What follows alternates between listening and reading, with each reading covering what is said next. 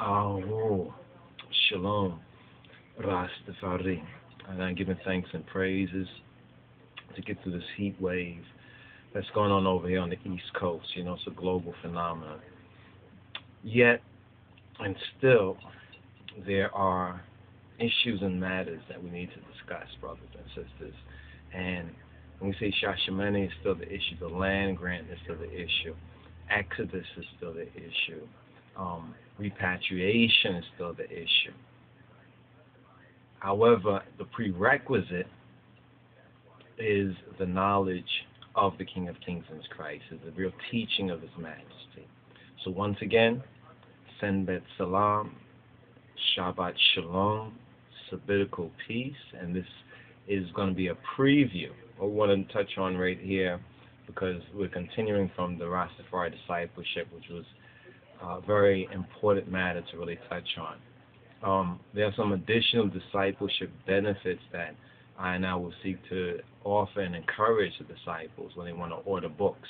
In fact, let's do a little Rastafari book club and show you some of the new titles that are out and hopefully Jah willing will have more of an opportunity to get into um, the books individually and speak about the merits or what we see to be the merits of these particular titles that the Lion of Judah Society is able to publish. A Yehuda Moa Anbesa Machiber. Inyane. Is she? Is she? Okay, so let's touch on this. Uh, some wuha, some wuha, some water.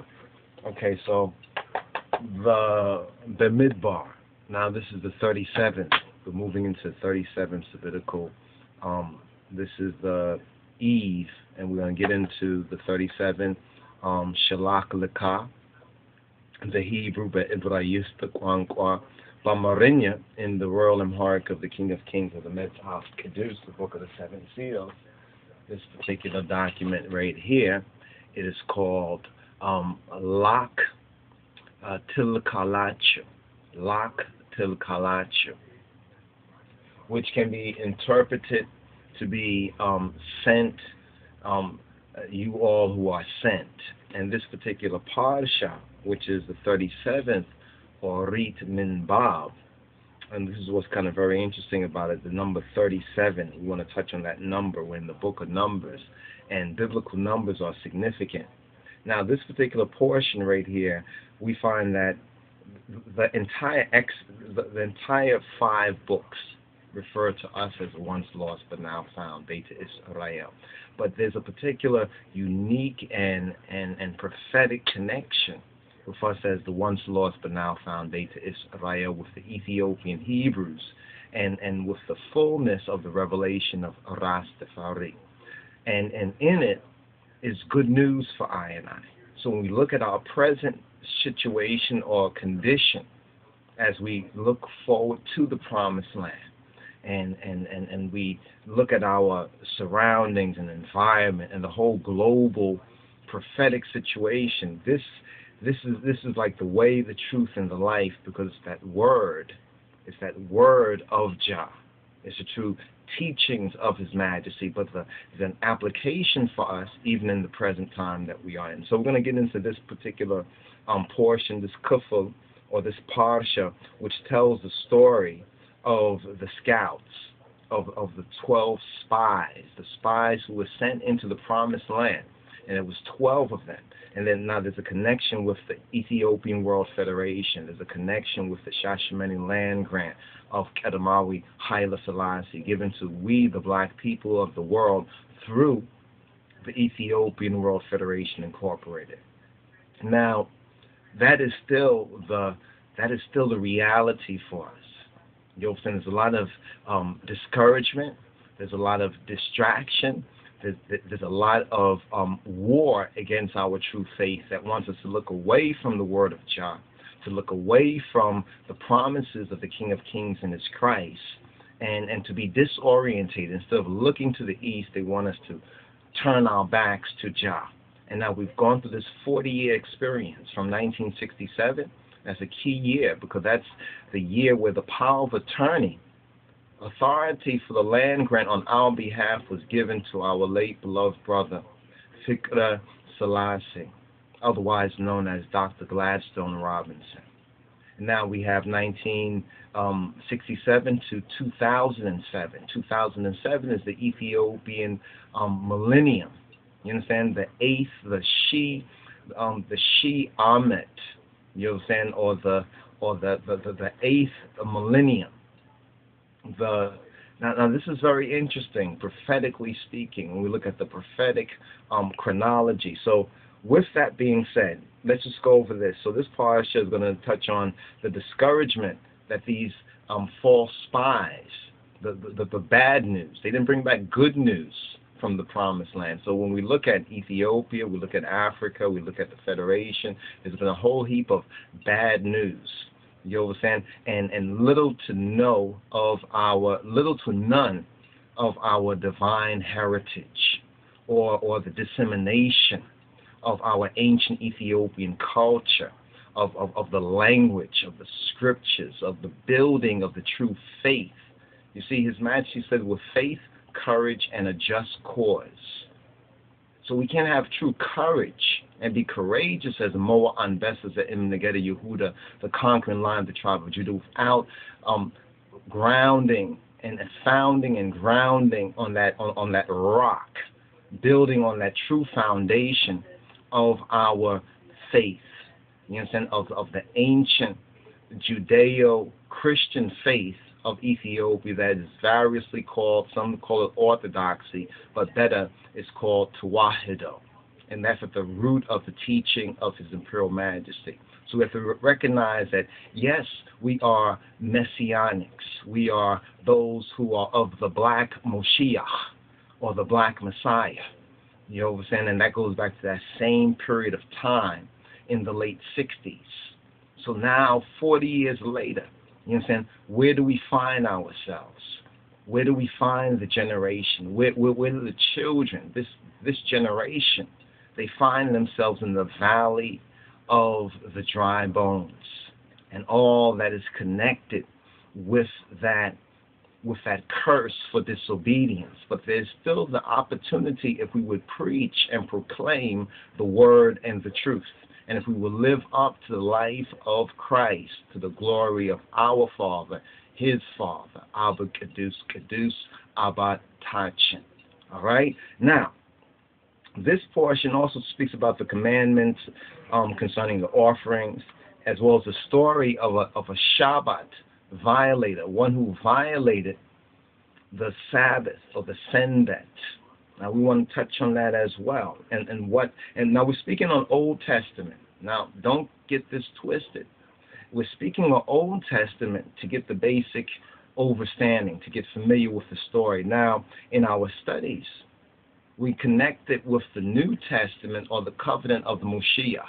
So we have the veil that was on their eyes in the old covenant is removed in the Moshiach. It is removed in Christos. It is removed in Christ, even for I and I, Christ in his kingly character. All right, that's just a point of order right there. Now, the commandment also of the fringes is spoken of in this particular parasha, in this particular portion. Now, just touching on the fringes, we're just going through an overview right here, and we want to speak about the fringes, um, deal with the fringes first. Now,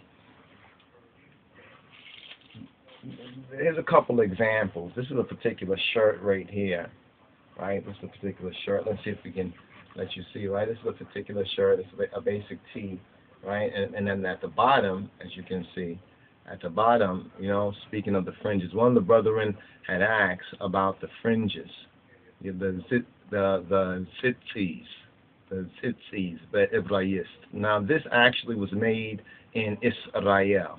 Now we have um, Rastafari um, Israelis or Israelis who are Rastafari, and, and we hope to link up with those particular brothers and sisters, and, and there's a community out there that is is is waking up and recognizing the true light of the Moshiach, even in and through the Rastafari movement. And that's beautiful. And we should see this is why we have to be on our true foundation.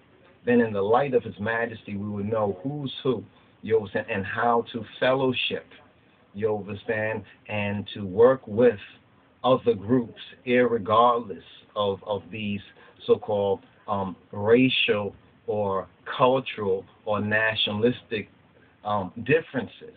But see, that's when we have to come into our true person. We can't be niggers, blacks, and coloreds under 13th and 14th Amendment with artificial names and being disorientated about who we truly are and about the knowledge of the Mashiach and, and, and who we are and where we stand in the struggle. Right now, this is some of the fringes right here. So this is like a T-shirt that can be worn.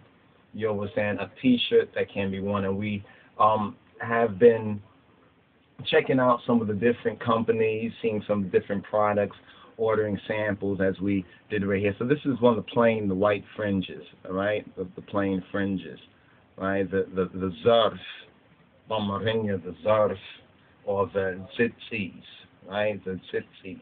Now it's in this particular portion, and this is another another version of it right here. We want to show you, all right. These are these are another version of it, which can be um, with with a small. You see, there's four of them, right? See, there's four of them right there, right? Now, even the way that they are braided, the whole science, the ancient science behind it, um, is worthy of us studying up on. All right. Now, true, this is a a symbolic. Some would say a symbolic ordinance and there was some would say that well we're in the new covenant. You understand? We do not have to wear that in the so-called new covenant. For those who are Gentiles, that might be true, but not for us who are Beta Israel, who are, as it says, aren't you like the children of the Ethiopians unto me, O children of Israel? Now, when you look at some of the um, Ethiopian clothing, I mean the traditional and the ancient clothing, they also contain this this was eventually um, the, the, type of fringes was eventually woven into the traditional garments. So this is like one of the more ancient, going back to one of the more ancient demonstrations of it. And in modern clothing, Ethiopian clothing, these have been, you know, basically like uh, uh, other kind of fringes, like when we point out um, these kind of fringes right here, this kind of fringe all right, you, you, you can see that, and then you have this area right here. You understand this tibeb, so forth and so on. We're going to get into the garments because we got to speak on garments and clothing. You understand? Even much of our economy as a people is, really wasted on, as a holy people, um, buying and purchasing garments from the Gentiles. You understand? On certain levels, perhaps we can but right now there's there's almost a wholesale. Um, we give up our holy garments. And as we study the Torah portion, we get to recognize how important this is. For example, even the fringes. We're going to do a teaching on the fringes, but here we want to highlight this. A, a brethren had asked about these fringes, um, and some of the sisters, um, I mean, in, some of the communities even today, you know, some of the sisters who are good with, if you look at this kind of knot work right here. right, you can see this knot work right here. And if you check out some of the sites on the internet, how this spells Yahweh's name, how this spells the so-called ineffable name of the Lord. So it's not just wrapped around, but it's wrapped around where it's spelling a name based on numbers. So it's just more than just the fringes in, itself. It's also the braid work, you understand, and the numerical, some say Kabbalistic, if they will, Kabbalah, you understand, value that it has as well.